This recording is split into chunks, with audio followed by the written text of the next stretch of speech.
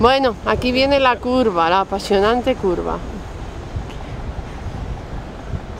No todos se atreven a hacer esta curva sin ayuda técnica, pero con este vídeo no habrá ningún problema. Solo hay que calcular bien el giro. Ahí está, ahí está. Marcha atrás para ajustar el coche. Bueno, este coche es grande. Bueno, ahí está, superado la curva. Todo lo demás es casi autovía.